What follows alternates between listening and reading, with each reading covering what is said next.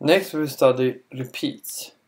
So one thing you have to do that is actually you have to add a bit better performance on the detection because many repeats are missed because they quite fast.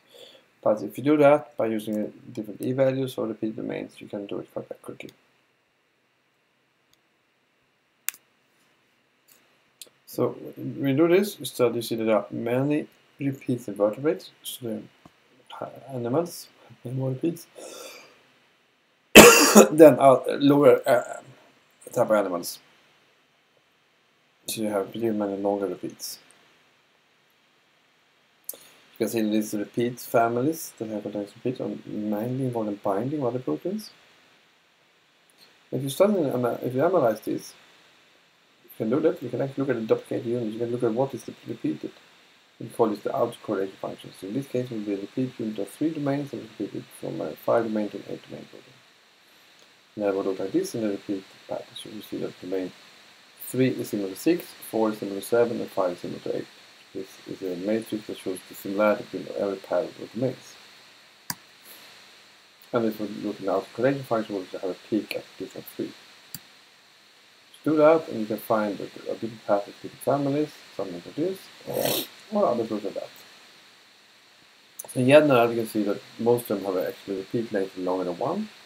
A 2 or 3. Particularly Nebulin is an exception, they have a repeat of 7, extremely strong, nothing else So we study that carefully, you see that the seven domains Nebulin consist of uh, four exons, one with three, one with two, one and two with one domain each.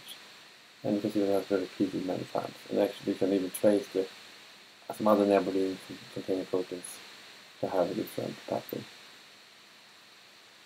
And if you have a repeat pattern for it's extremely similar, strong similar repeats of seven and you can see this it gradually for the is uh, 421 but actually